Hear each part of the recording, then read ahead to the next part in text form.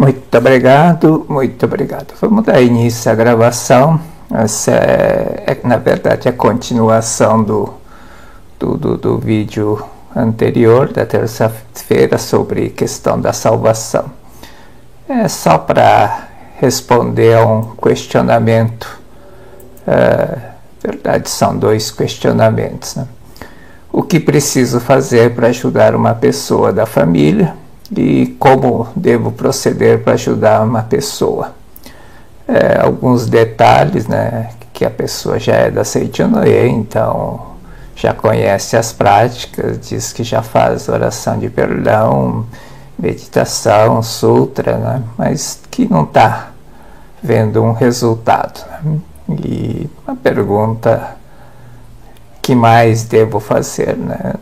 Acho que não tem muito mais que fazer, mas todo caso, é, não se preocupe muito com o que fazer, né? o que mais fazer. Né? As pessoas às vezes ficam muito preocupadas com essa questão do, do que mais fazer. Como devo proceder para ajudar uma pessoa? Então vamos responder a, sobre procedimento, né? que é mais importante. Quando for aplicar né, o ensinamento da Seichanoe tanto para si como para alguém, para ajudar alguém, lembre sempre do fundamento, né, a base do ensinamento da Seichanoe. Qual é? O eu verdadeiro, né, o de sou, a natureza divina, a essência divina, o, é, o eu filho de Deus, né, eu imagem de Deus. É, é perfeito, dotado de todas as virtudes. E que quando manifestar esse eu verdadeiro, essa minha natureza divina, ah, passa a fluir naturalmente todas as virtudes, amor às pessoas, amor filial, amor conjugal, amor paternal, maternal.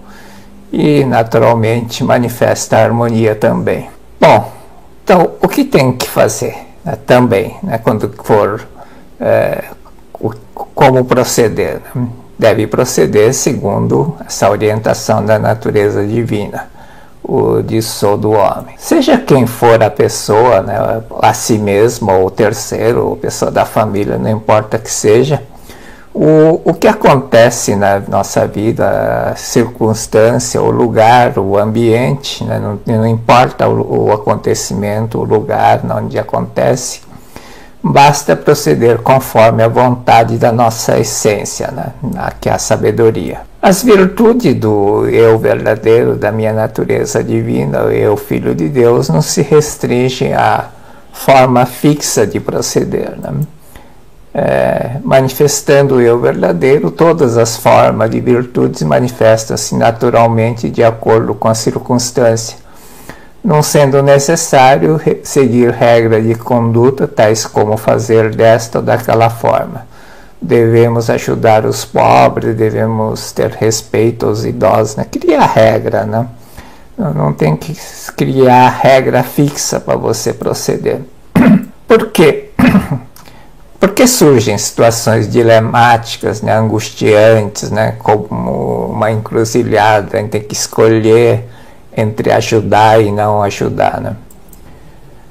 Quando impomos regras rígidas de proceder, como por, por exemplo escolher entre seguir a Deus ou a família, né, ou ficar com a família, é, preciso ajudar o fulano né, e não sabe como ajudar, né, quando, quando é que surge.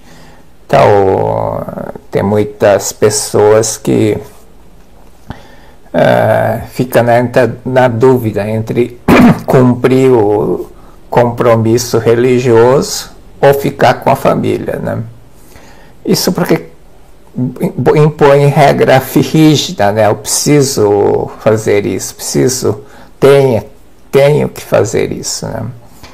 Então, não pode fazer isso, né? Eu, quando tinha compromisso de preletor, né? Claro, aquilo que eu agendava, eu tentava cumprir, né?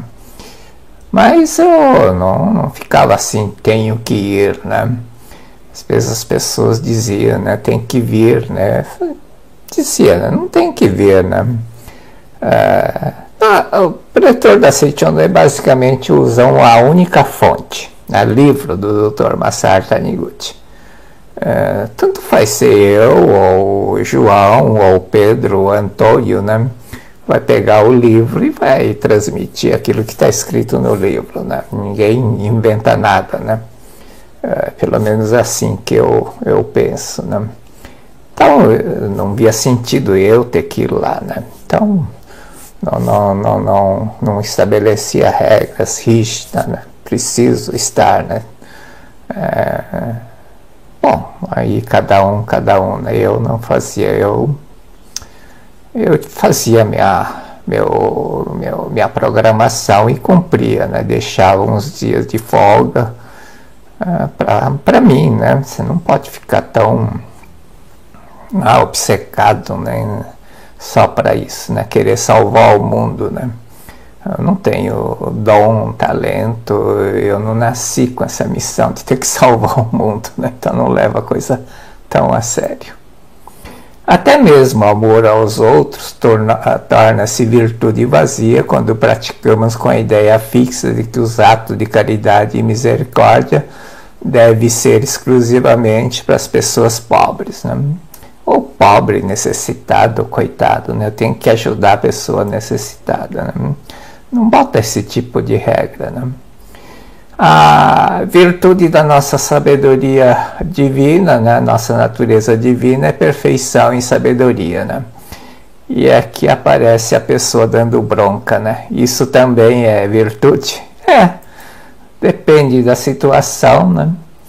Ah, a, o, o nosso procedimento nem sempre se manifesta sob forma de, de generosidade, bondade, né, misericórdia. Às vezes manifesta-se de forma aparentemente cruel, como de repreender energicamente e expulsar um pobre que veio pedir a esmola. Então, o que o Dr. Massar Taniguchi diz é que se tem que agir segundo a voz do uh, eu verdadeiro, da sua natureza divina, que é a sabedoria. Mesmo que modo de tratar seja cruel, isso resultará na extraordinária força, uh, na exteriorização da força da pessoa. Né? Existem casos de pessoas que abandonaram o espírito fraco, dependente e passaram a ser fortes e independentes justamente porque levaram uma bronca. Né? E aí conta o caso de uma senhora que ela tinha tinha meio que essa norma, né? Tem que sempre ajudar os pobres, né? Então, qualquer pedinte ou vendedor que chegava na porta dela, ela atendia, né? Comprava tudo. E aí, essa notícia espalha, né?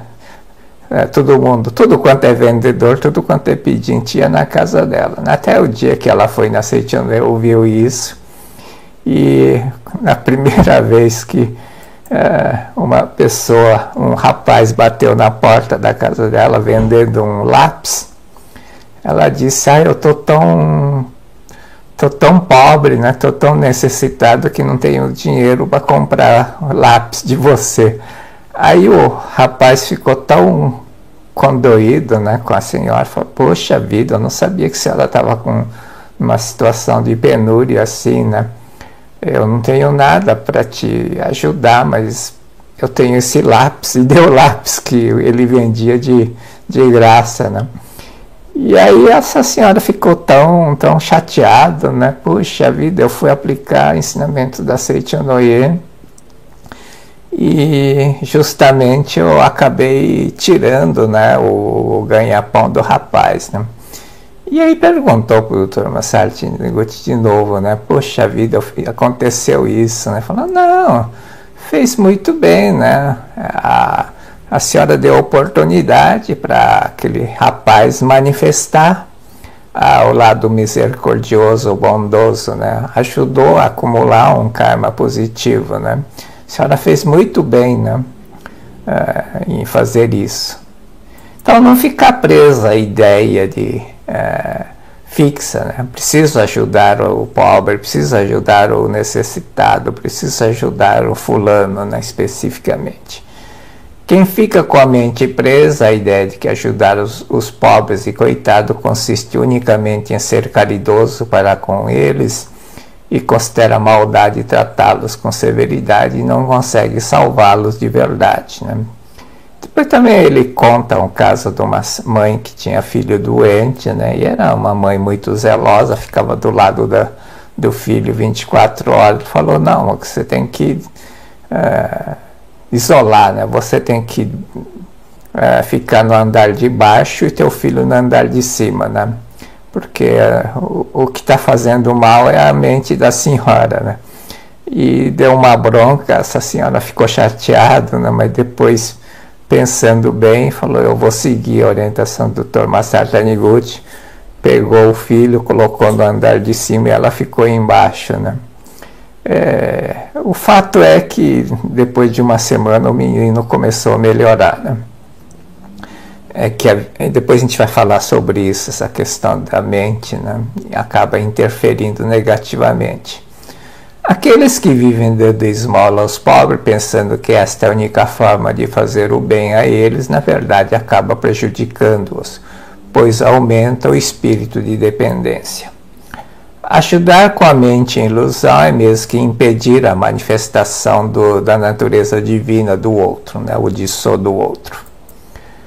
Somente a ajuda feita com a mente do eu verdadeiro, né, do, do eu, do disso, eu da natureza divina, é, toca na natureza divina do outro e aí isso vivifica o próximo. Né? Não importa o que, mas o que faça, né, mesmo com, procedendo como a senhora que é, ela contou mentira dizendo que não, não tinha dinheiro para comprar nem lápis, né, mas no fundo acabou ajudando. Né? Vivifica o, o, o outro.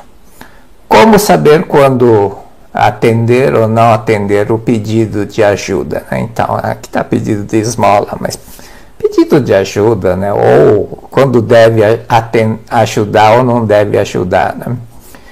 É, não existe né, um critério fixo né, também para isso. Né?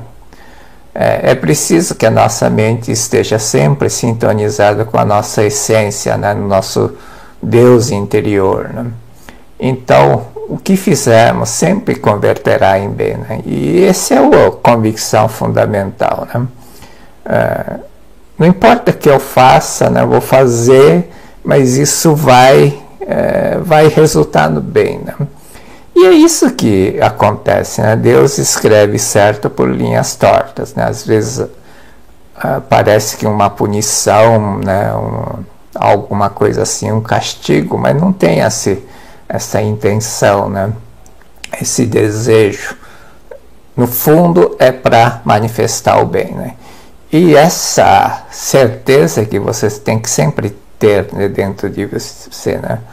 O que eu fizer é para o bem, né? não estou desejando mal a ninguém. Né?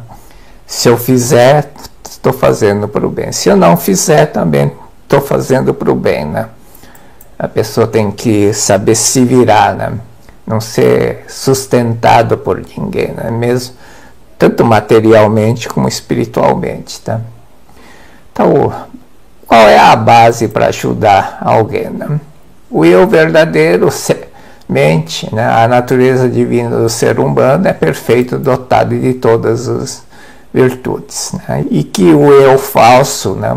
eu dominado pela matéria, não existe. O eu falso é o eu que é dominado pela matéria. Então, eu verdadeiro é o eu que domina a matéria. Né? O eu falso é o eu dominado pela matéria.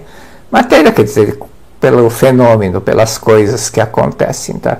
O eu verdadeiro é o eu que não é dominado pela matéria ou pelos fenômenos. Né? Por isso, né, você não deve resistir ao mal. Né? Ou seja, resistir ao mal é quando você quer transformar o mal em bem. Né? Eu sei que as pessoas querem ajudar, mas a ajuda não pode ser no sentido de eu vou mudar a pessoa, tá? Eu vou mudar a pessoa, vou interferir na vida da pessoa, não pode fazer isso. Tem que sempre, sempre proceder segundo o princípio, né, fundamento do ensinamento. Lembra sempre o fundamento do ensinamento. É aqui, ó, eu verdadeiro é perfeito, dotado de todas as virtudes. inclusive da pessoa que está com problema, inclusive a pessoa que está com doente, inclusive a pessoa que se comporta de forma errada. Seja quem for a pessoa, não devemos aplicar nenhum corretivo na pessoa, tá? Então, não resistir ao mal, não aplicar corretivo na pessoa. Se, sem essa premissa né, de que o, o homem é perfeito, vamos cair no lugar comum, né, que é ver o errado, apontar o errado, mostrar o errado e para corrigir a pessoa, para a pessoa mudar de atitude. Né? É isso que faz aí no mundo afora. Né? Mostra o errado para tentar corrigir né, o que está fazendo errado. Não adianta fazer isso, isso não, não muda o mundo. O, os séculos de história da humanidade não, não adiantou, né? Uh, nem a guerra, né? a crueldade da guerra acabou, uh, conseguiu acabar com a violência humana. Então não é isso, não é mostrar a violência, né? apontar o erro que vai mudar a humanidade. Partindo desta base fundamental, né, partindo dessa base, ou seja, dessa premissa que o ser humano é perfeito, utilizar o expediente de salvação. O expediente de salvação são as práticas, tá? A prática de, de, de fazer Shinsokan, fazer leitura de sutra, é, enfim. Lembrando mais uma vez que nenhuma prática transforma o mal em bem, nem fabrica o que não existe, nem soluciona problema de ninguém. A prática não soluciona. Prática é um expediente de salvação. Expediente de salvação é o dedo que mostra o cume da montanha para uma criança. Por quê? Uma criança não sabe nem o que é montanha, muito menos o que é um cume de uma montanha. Então você tem que mostrar. Uma criança que não sabe o que é montanha, né? você tem que mostrar. Por isso você tem que fazer o quê? Primeiro tem que fazer compreender o que é montanha. A primeira coisa. Ó, isso aqui é uma montanha, tem que mostrar. Tá vendo a montanha? Ah, vai mostrar o topo, né? E falar, ó, para você enxergar o topo, você não tem que ir lá tem que fazer perceber que não precisa é o cume da montanha para ver o topo da montanha.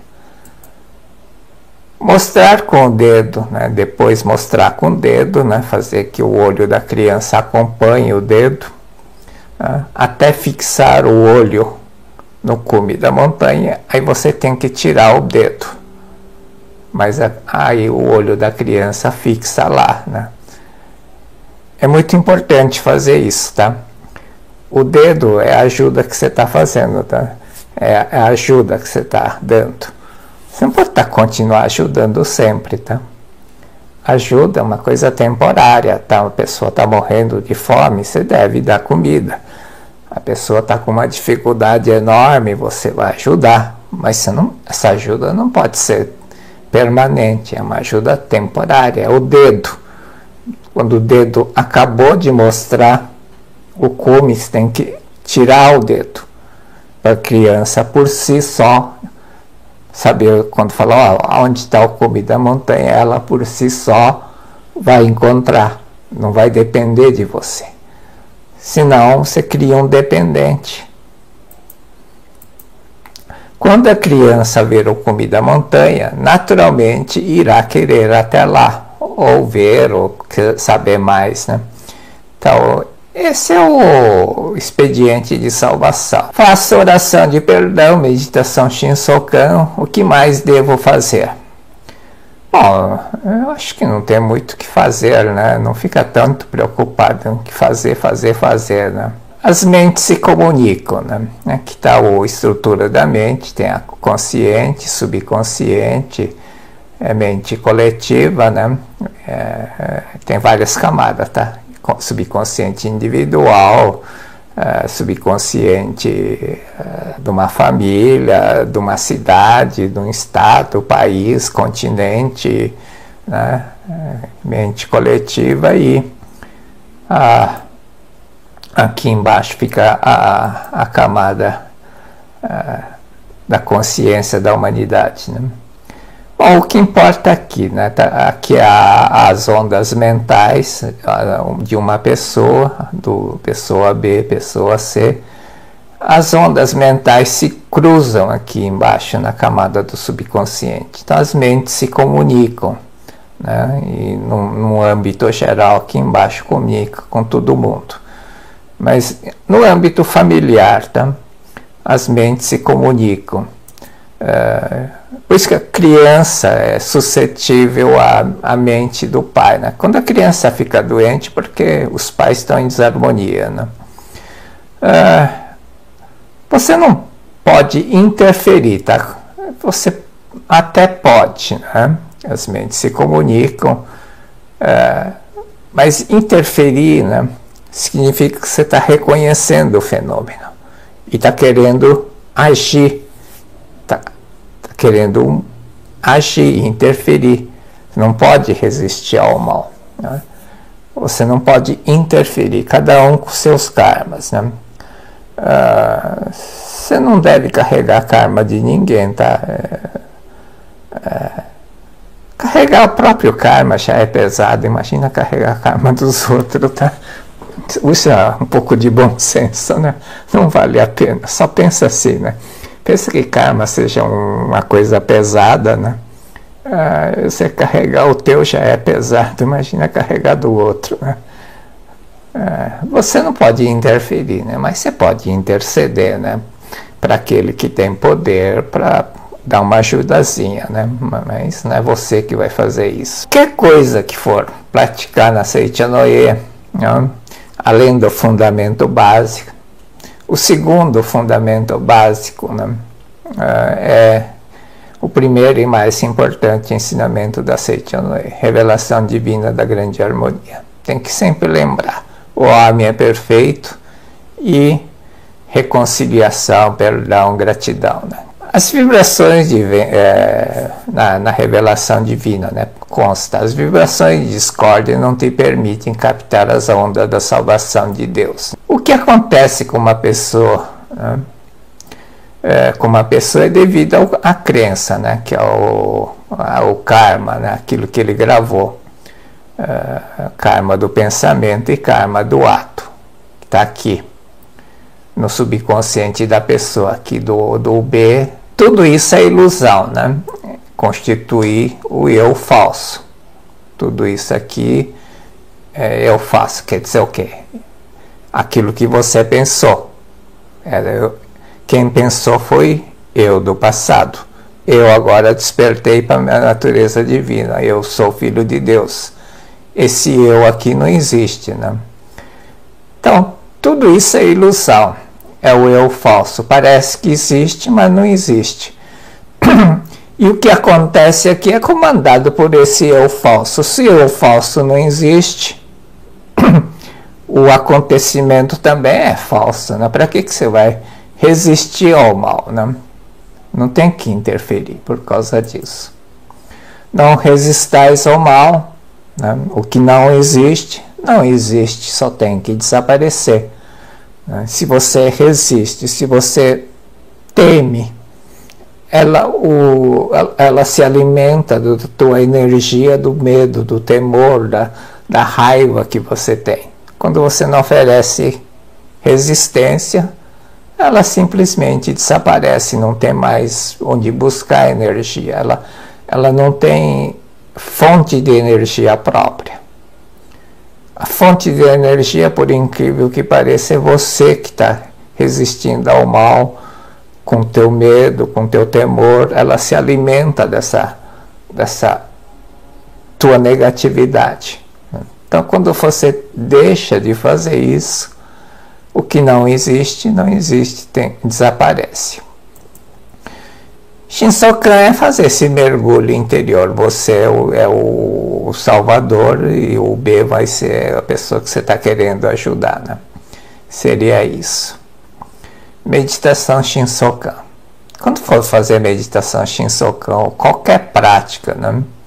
lembra disso aqui. Ó. As vibrações de discórdia não te permitem captar as ondas de salvação de Deus. Eu faço oração de perdão em Shinsokan não combina, né? Se você faz oração de perdão e tem motivo, você tem desarmonia, tem vibração de, sei lá, tem que ter alguma coisa, né? Não, fazer por fazer oração de perdão, eu, eu não fiz nada de errado, nada assim tão grave, né? Ficar fazendo oração de perdão, eu acho que não é o caso. Mas se tiver, não adianta fazer Shinsokan com mente em desarmonia, tá? A revelação divina é clara, as vibrações de discórdia não te permitem captar as ondas de salvação de Deus, né? Então, teu Shinsokan é zero, tá? Por isso que eu, eu acho estranho, né? as pessoas falam, eu faço oração de perdão e faço meditação Shinsokan. Tem muito sentido, né? Primeiro você tem que harmonizar, você tem que reconciliar, né? Reconcilia-te com todas as coisas do céu e da terra. Ao te reconciliares, eu me revelarei. Uh, fazer Shinsokan com desarmonia, com raiva, não adianta nada. Faz só oração de perdão, faz, tenta só ver né, a, a, o dissó da pessoa. Né? Meditação Shinsokan não é salvação, né? não é expediente de salvação. Não, é, é, é expediente de salvação. As vibrações de discórdia não, não te permitem né, captar. As vibrações de discórdia cortam qualquer comunicação com Deus. Então, a primeira coisa tem que tirar isso, né? Aqui está a estrutura da mente, aqui está o subconsciente, né, o que é, é, o teu pensamento do passado, o eu falso, o eu da ilusão, e os karma, né, karma, pecado, crença errada. Né? Karma é, é, karma pode ser karma do ato, né, é, aí é o pecado, né, é o sentimento do ato praticado, e do pensamento que você gravou, né, errado que a crença. Tem dois, é a karma do pensamento, é a crença errada. E tem o, o pecado original, né? que é, é, é pensar que é homem pó da terra. Shinsokan não apaga o karma negativo, o pecado, né? não é uma borracha, né? não é um, um jato d'água que vai esfregar aqui vai apagar essas coisas. O que, que Shinsokan faz? Né? Leva à compreensão da verdade, natureza divina. Está errado aqui, natureza divina. Primeiro leva a, a, a, compreender a sua natureza divina. Né? E depois leva ao arrependimento, que é desintegração do karma. Não é o Shinsokan que apaga o karma negativo, o pecado. Ele leva à compre compreensão da verdade a compreensão da verdade leva ao arrependimento e aí sim vai desintegrar o, karma, não apaga, desintegra. Jesus Cristo por isso dizia, né, buscai o reino de Deus e sua justiça e todas as coisas serão dadas por acréscimo. Shinsokan é buscar o reino de Deus, né? Buscar o reino de Deus é buscar a sua natureza divina, teu Disso, o seu filho de Deus. Natureza divina é sua imagem de Deus, né? que está dentro de você. Essa é a natureza divina. Então, buscar o Dissó né? é ver o Dissó. Você não vai ver, né? não tem como ver, é crer, né? você tem que acreditar na perfeição interior, acreditar em Deus, ver a natureza divina, sua ou da pessoa né, que você quer ajudar. Ver a natureza divina, é ver Deus. Ver Deus é ver os atributos de Deus. Ver o amor, ver a vida, ver a sabedoria de Deus. Não ver o fenômeno, ver Deus. Se ver o fenômeno, você não vai ver. Quando fizer isso, né, isso dentro da doutrina da Seichanoye, é primeira coisa, né? Para ver, é, ver Deus, né? Ver o dissolver a imagem verdadeira, ver o, o Filho de Deus. Né? Você não vai ver o fenômeno, Por isso, primeira coisa é matéria não existe. Quando matéria não existe, né, o eu falso, né, dominado pela matéria, não existe. O eu falso é o eu dominado pela matéria. Quando você entende que matéria não existe, não tem um dominador que é a matéria. O eu falso desaparece. Eu falso des desaparecendo, o causador né, da, a causa desaparece, a, desaparecendo a causa, desaparece o acontecimento, o efeito. Né? Segundo fundamento é o que o homem é filho de Deus, só existe a natureza divina, aquilo que só existe Deus e aquilo que Deus criou. O homem é filho de Deus, aquilo que Deus criou é o homem filho de Deus com as qualidades de Deus. Né? É, vimos isso no vídeo da semana passada.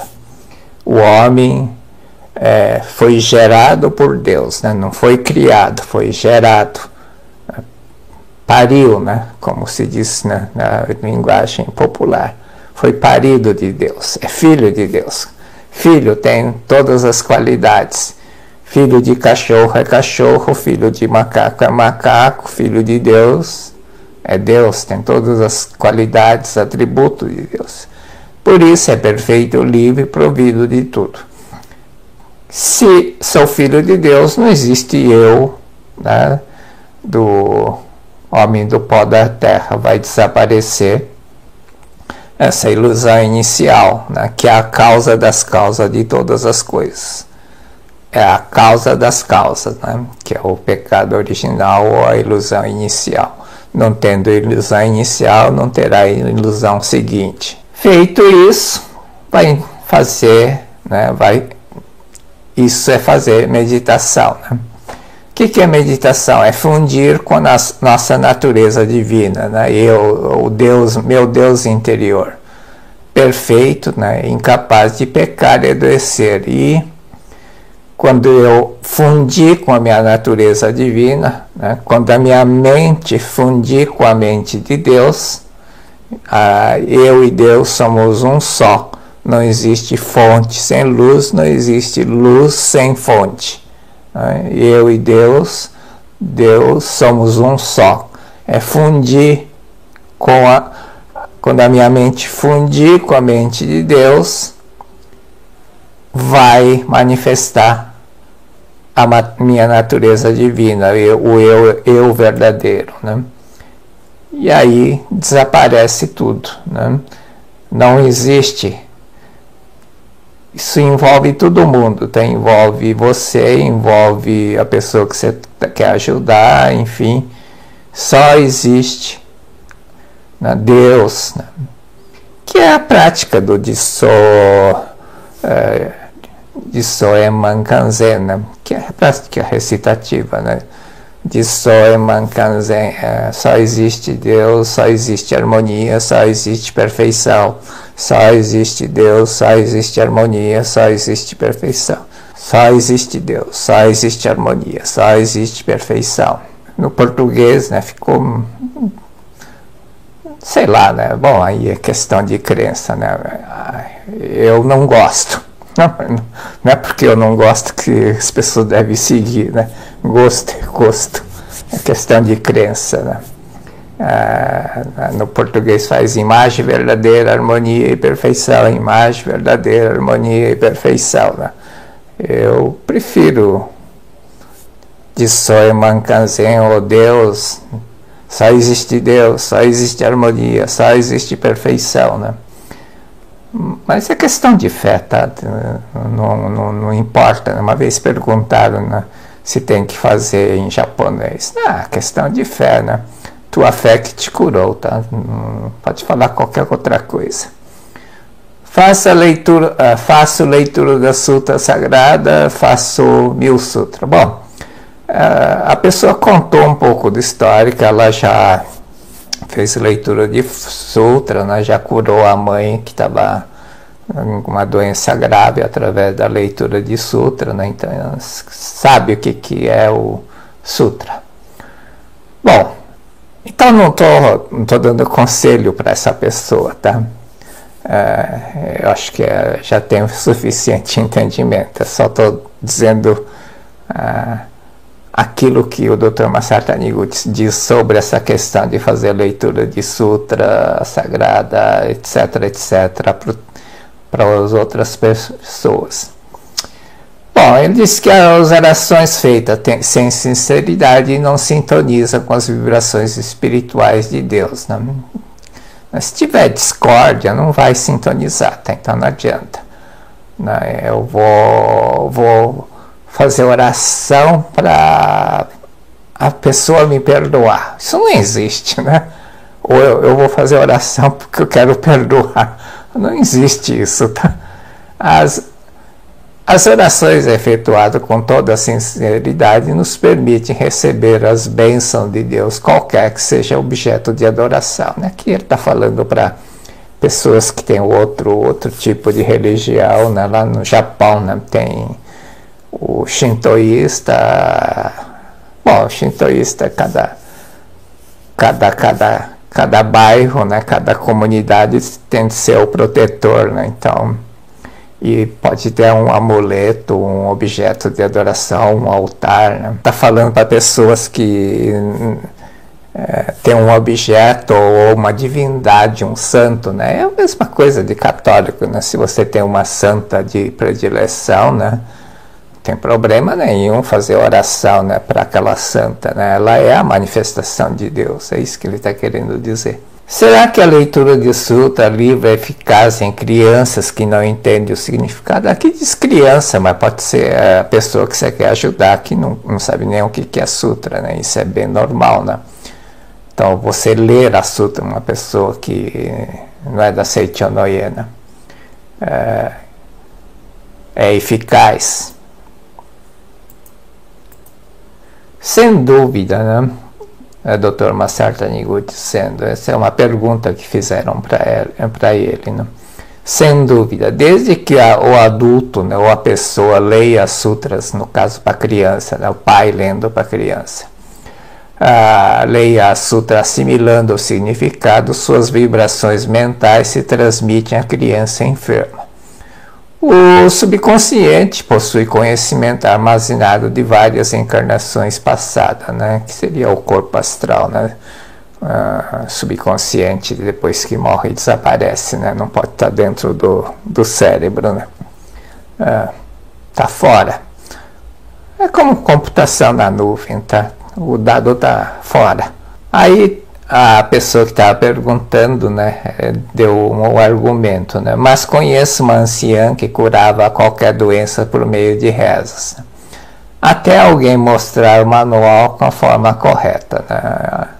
Alguém é o assessor religioso, né, que fica preocupado com o formato, né, não está fazendo direito, tem que fazer assim, tem que seguir é, procedimento, né, tem que sentar desse jeito, tem que fazer isso.